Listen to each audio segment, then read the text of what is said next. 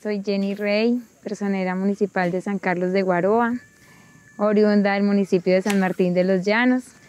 Funjo el cargo como personera desde el primero de marzo del 2020.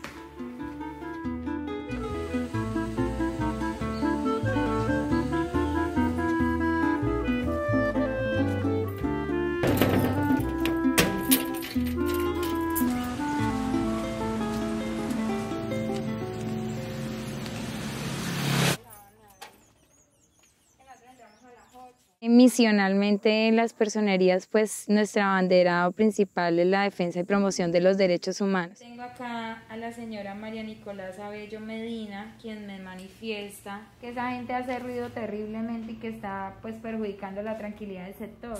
Es visibilizar la situación de cada núcleo familiar desde su entorno de vulneración de derechos y en ese orden de ideas instar a las entidades competentes a la garantía de los mismos.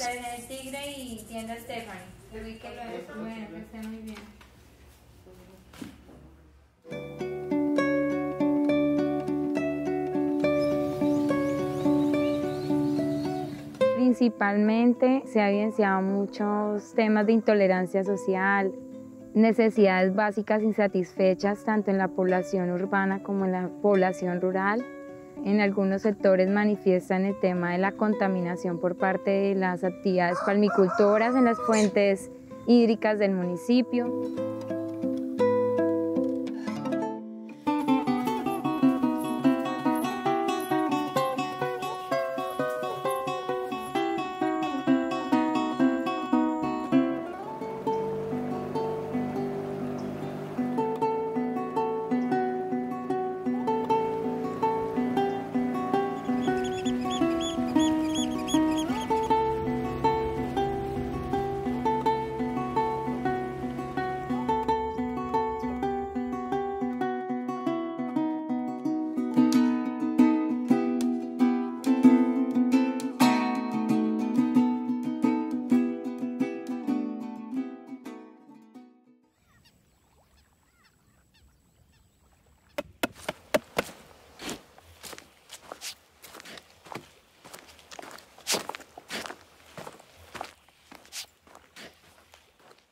Hay una problemática latente en el municipio que se viene eh, presentando desde el año 2015, presuntamente por la ocupación irregular de unos predios.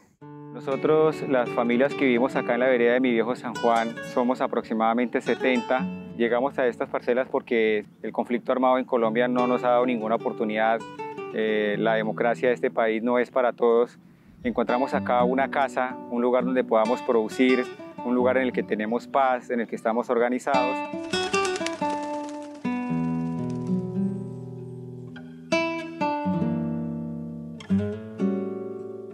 dichos predios se ubican pues familias en situación de vulnerabilidad, campesinos sin tierra, eh, población víctima del conflicto armado interno.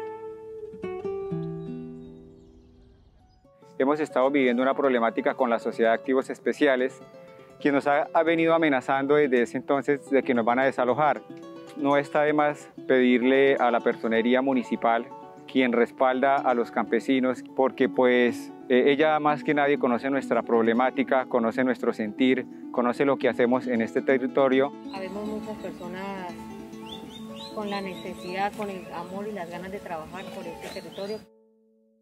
Creo que la importancia en el caso del Meta es que uno conozcan que efectivamente existen unos derechos que deben ser protegidos y para eso están las personerías municipales. El personero municipal es un defensor y un promotor de los derechos humanos en territorio.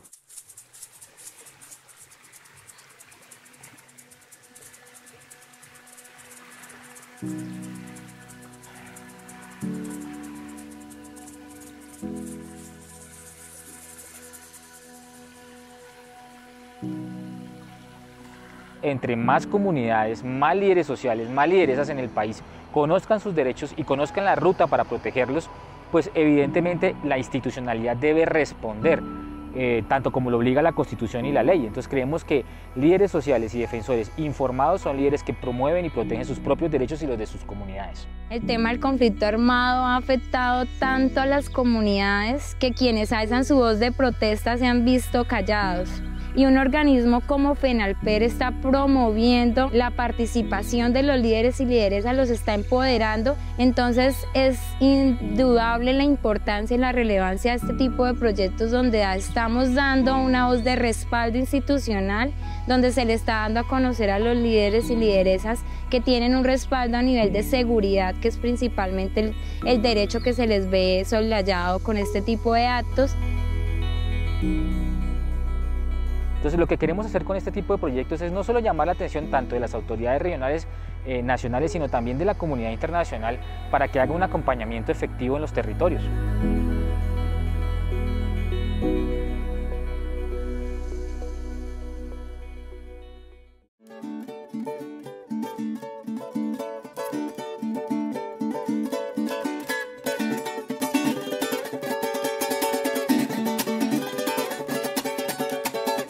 Fundamental es, uno, promover la participación ciudadana, que la misma comunidad se empodere de lo público, conozca los mecanismos para hacer efectiva eh, la materialización de sus derechos, promover el empoderamiento de la mujer como actor fundamental dentro de las dinámicas territoriales, crear una nueva visión de la vida y promover que los niños, niñas, adolescentes, los jóvenes tengan un proyecto de vida y ser ejemplo a seguir dentro del municipio.